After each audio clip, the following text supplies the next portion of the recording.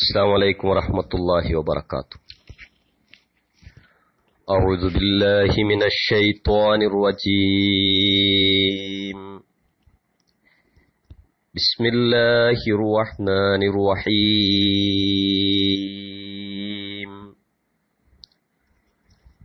وإذا لقيتم الذين كفروا فضرب الرقاب حتى إذا أثخنتموهم فشدوا الوثاق. فشدوا الوثاق فإما منا بعد وإما فداء.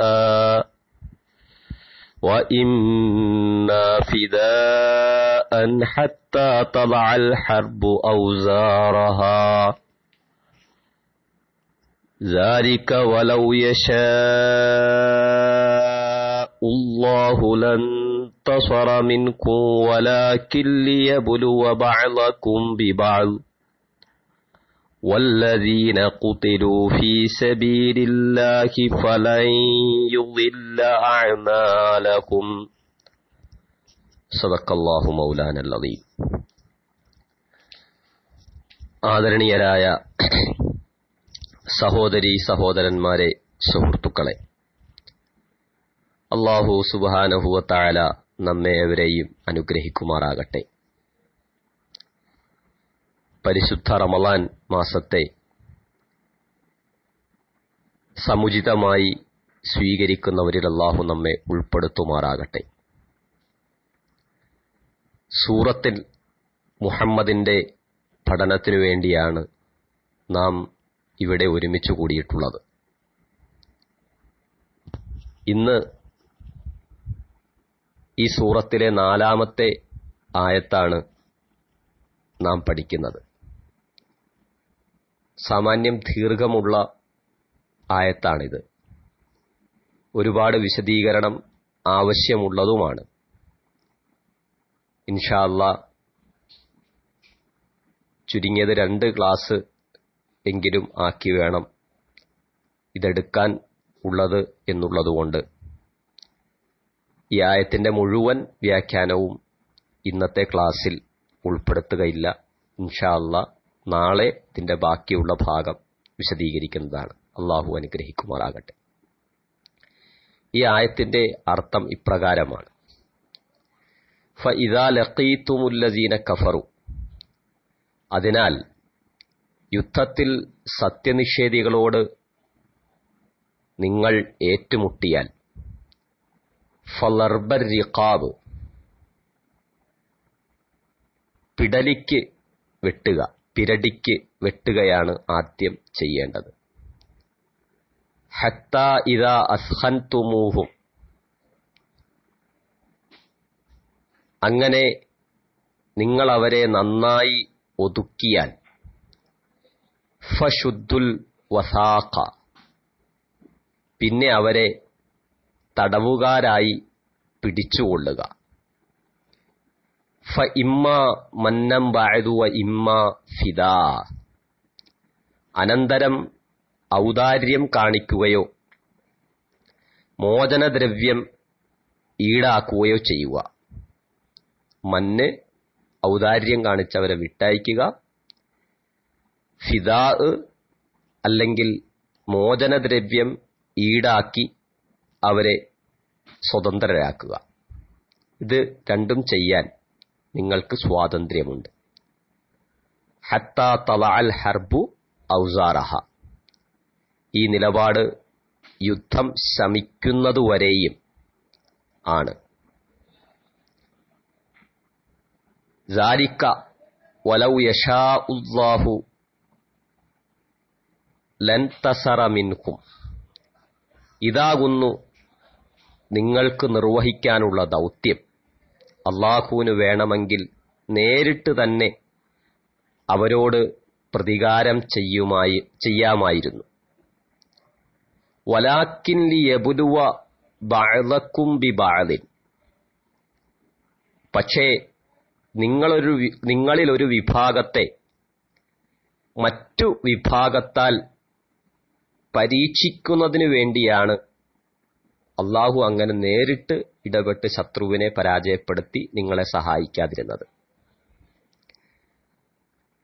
ഈ രീതി സ്വീകരിച്ചത് അഥവാ യുദ്ധം ചെയ്തുകൊണ്ട് അവരെ ബന്ദികളായി പിടിച്ച് യുദ്ധ നടപടികൾ എന്ന ഒരു രീതി നിങ്ങൾക്ക് നിശ്ചയിച്ചു തന്നത് നിങ്ങളിൽ ചിലരെ ചിലരെ കൊണ്ട് പരീക്ഷിക്കാൻ വേണ്ടിയിട്ടായിരുന്നു.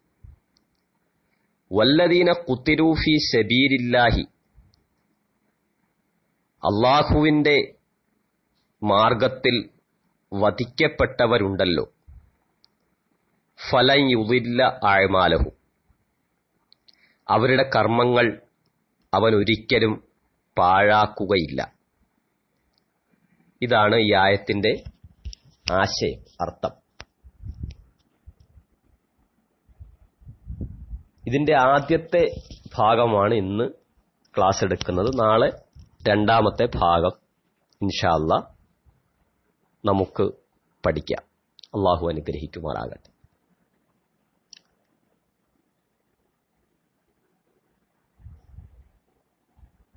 فإذا لقيتم الذين كفروا فضرب الرقاب حتى إذا أثخنتموهم فشدوا الوثاق فإما منا بعد وإما فداء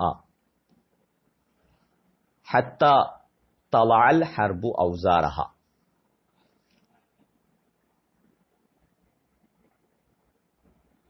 യുദ്ധത്തിൽ സത്യനിഷേധികളോട് ഏറ്റുമുട്ടിയാൽ അവരുടെ പിരടിക്ക് വെട്ടുക അതാണ് ചെയ്യേണ്ടത് അങ്ങനെ അങ്ങനെ നിങ്ങളെ അവരെ നന്നായി ഒതുക്കിയാൽ കീഴ്പ്പെടുത്തി കഴിഞ്ഞാൽ മോചനദ്രവ്യം ഈടാക്കുകയോ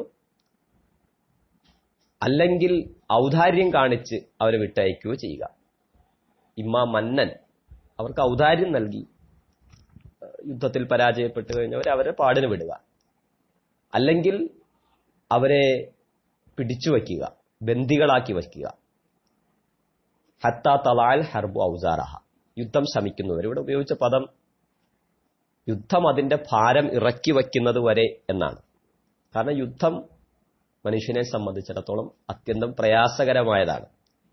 യുദ്ധത്തിൽ ഏർപ്പെടുന്നവർക്കും അത് പ്രയാസമാണ്. യുദ്ധത്തിന് വിധേയരാകുന്നവർക്കും അത് പ്രയാസമാണ്. യുദ്ധത്തിൽ പങ്കെടുക്കുന്നവർക്ക് മാത്രമല്ല യുദ്ധം നടക്കുന്ന നാടിനും അത് പ്രയാസമാണ്. പങ്കെടുക്കുന്നവരുടെ ബന്ധുമിത്രാദികൾക്കും നാട്ടുകാർക്കും അത് പ്രയാസമാണ്. പക്ഷേ ചില നാഗരികവും രാഷ്ട്രീയവുമായ ആവശ്യങ്ങൾ നിമിത്തം പലപ്പോഴും യുദ്ധങ്ങൾ ഉണ്ടാവാറുണ്ട്.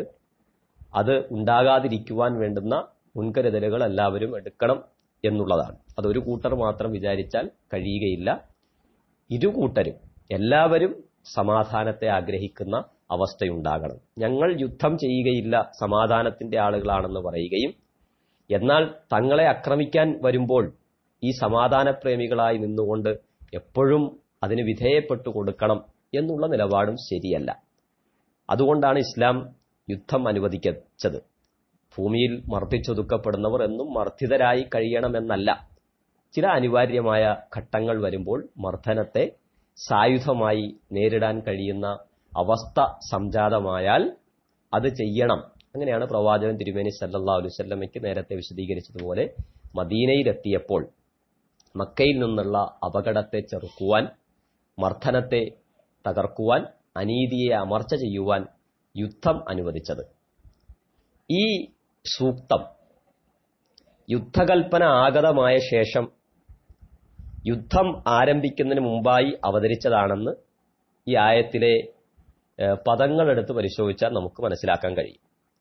കാരണം ഇതിന്റെ മുമ്പിനും പിമ്പിനുമുള്ള സൂക്തങ്ങളിൽ നിന്നും അത് നമുക്ക് മനസ്സിലാക്കാൻ കഴിയും. നിങ്ങൾ യുദ്ധത്തിൽ സത്യനിഷേധികളോട് ഏറ്റുമുട്ടിയാൽ എന്ന വാക്ക് സൂചിപ്പിക്കുന്നത് ഇതുവരെയും അത്തരമൊരു സാഹചര്യം ഉണ്ടായിട്ടില്ല എന്നാണ്. സൂറത്ത് മുഹമ്മദ് അവതരിപ്പിക്കുന്നത് വരെയും അങ്ങനെ ഒരു അവസ്ഥയെ അഭിമുഖീകരിക്കേണ്ടി വന്നിട്ടില്ല. അതുകൊണ്ട് ഏറ്റുമുട്ടുകയാണ് എങ്കിൽ എന്ത് നിലപാടാണ് സ്വീകരിക്കേണ്ടതെന്നാണ് അള്ളാഹു സുബാനഹുവത്താല ഇവിടെ പറയുന്നത്.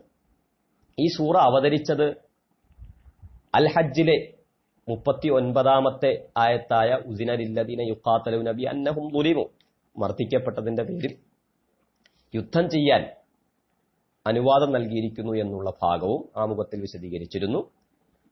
സൂറ അൽ ബക്രയിലെ നൂറ്റി തൊണ്ണൂറാം സൂക്തമായ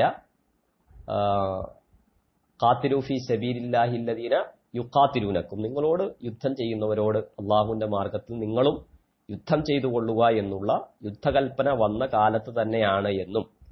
അന്ന് കപടവിശ്വാസികളും ദുർബല വിശ്വാസികളും യുദ്ധത്തെ ഭയന്നുകൊണ്ട് തങ്ങളെ മരണം വന്ന് മൂടുമെന്ന വണ്ണം വിഹ്വലരായിരുന്നു എന്നും ഇനി അതിനെ പറ്റിയിട്ട് തുടർന്ന് ഇരുപതാമത്തെ ആയത്തിൽ വിശദീകരിക്കുന്നുണ്ട്. അപ്പോൾ ഇൻഷാല്ല അത് നമുക്ക് പഠിക്കാം. അത്തരമൊരു സന്ദർഭത്തിലാണ് ഈ കാര്യം അള്ളാഹു പറയുന്നത്. ഇതുവരെ യുദ്ധം ഉണ്ടായിട്ടില്ല. നിങ്ങളെ യുദ്ധം ചെയ്യാൻ വേണ്ടി ആരെങ്കിലും വന്നാൽ യുദ്ധമുണ്ടാവുകയാണ് എങ്കിൽ ചെയ്യേണ്ട നിലപാടുകളാണ് ഈ ആയത്ത് വിശദീകരിക്കുന്നത്.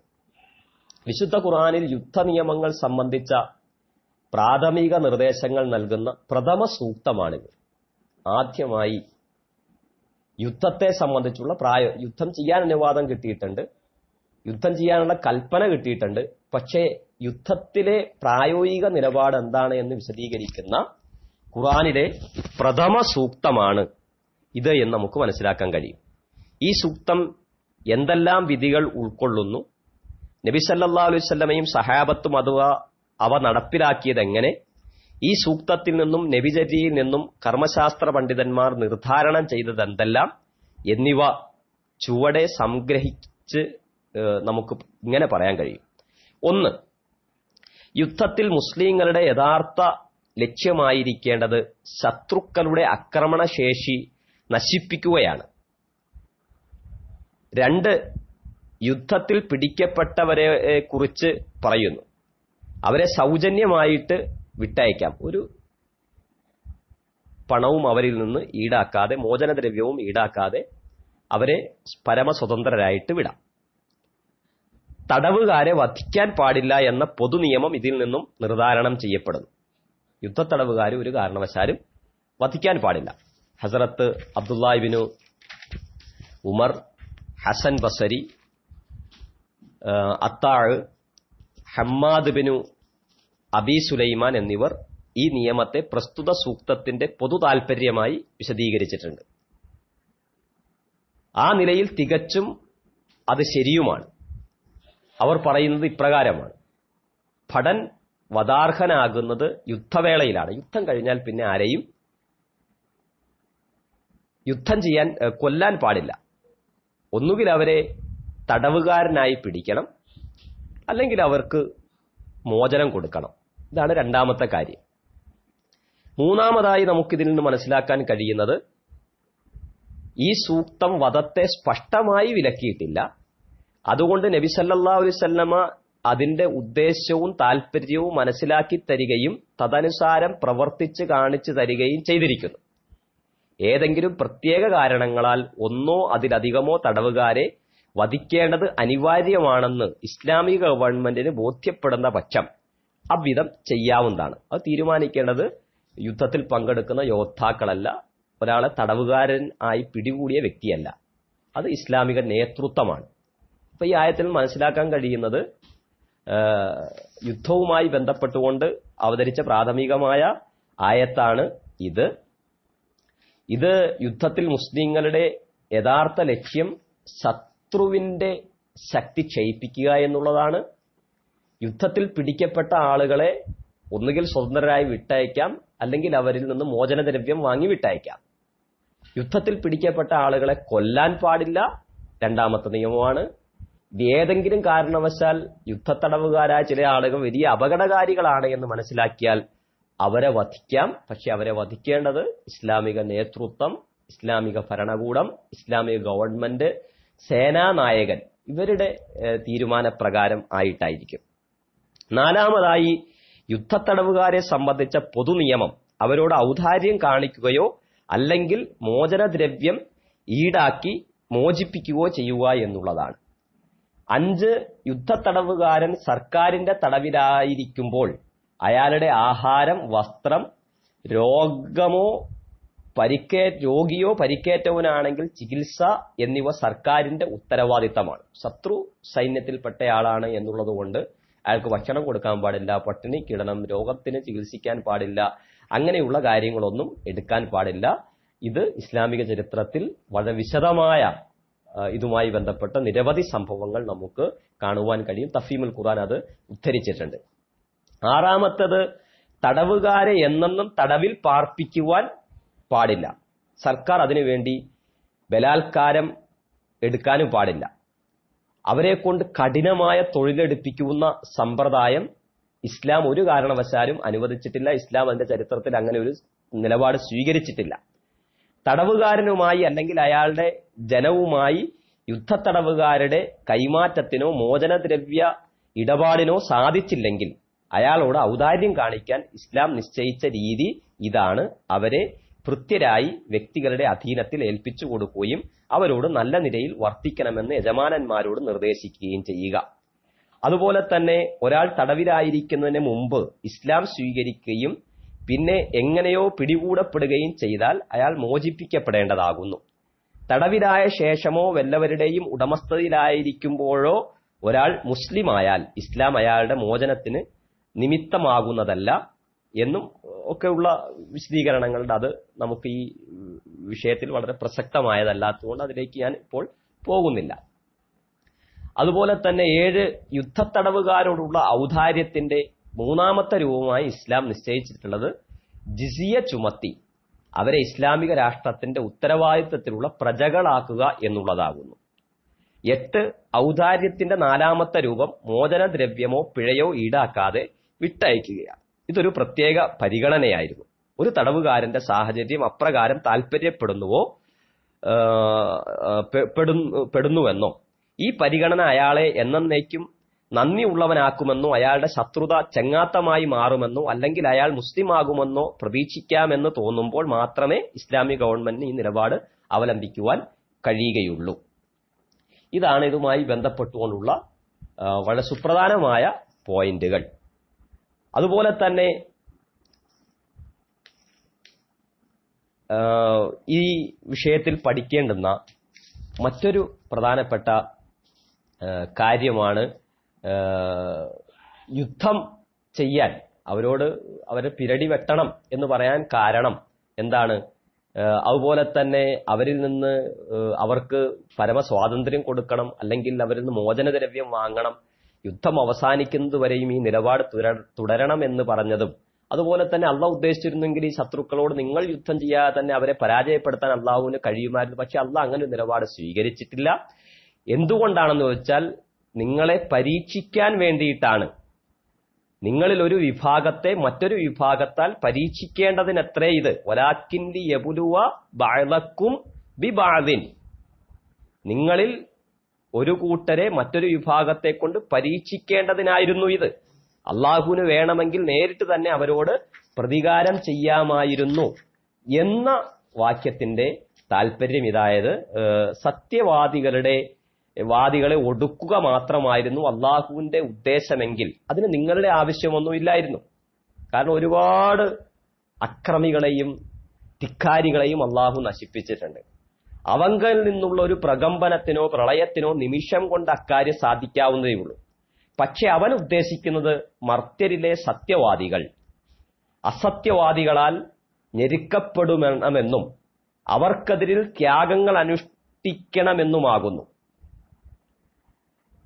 ഓരോരുത്തരുടെയും ആന്തരിക ഗുണങ്ങൾ ഈ പരീക്ഷണത്തിലൂടെ തെളിഞ്ഞു പ്രകടമാകേണ്ടതിനും അവരവരുടെ കർമ്മമനുസരിച്ച് ഓരോരുത്തരും അർഹിക്കുന്ന സ്ഥാനം അവർക്ക് ലഭിക്കേണ്ടതിനുമാണ്. യുദ്ധം പോലെയുള്ള വളരെ നിർണായകമായ ഒരു ഘട്ടത്തിലാണ് ഓരോരുത്തരുടെയും ശരിയായ ഉള്ളിരിപ്പ് മനസ്സിലാക്കാൻ കഴിയുള്ളൂ. പരീക്ഷണത്തെ എങ്ങനെയാണ് അഭിമുഖീകരിക്കുന്നത് എന്ന് അള്ളാഹുവിന് കാണാൻ വേണ്ടിയിട്ടാണ് മാത്രമല്ല ഭൗതികമായ ഈ ലോകത്തെ നയിക്കാനും നിയന്ത്രിക്കാനും നേതൃത്വം കൊടുക്കുവാനും കഴിവുള്ളവർ ആരാണ്? പ്രതിസന്ധി ഘട്ടങ്ങളിൽ സമൂഹത്തിന് ഏറ്റവും നല്ല നിലയിൽ നേതൃത്വം കൊടുക്കുവാൻ പാഠമുള്ള ആളുകളാണ് കഴിവുള്ള ആളുകളാണ് അത്തരം കാര്യങ്ങൾ ചെയ്യേണ്ടത് എന്നുള്ള കാരണത്താൽ അവരെ കണ്ടെത്തിയെടുക്കുക എന്നുള്ളതും ഈ ഒരു പ്രക്രിയയുടെ ഭാഗമായി സംഭവിക്കേണ്ടതാണ്.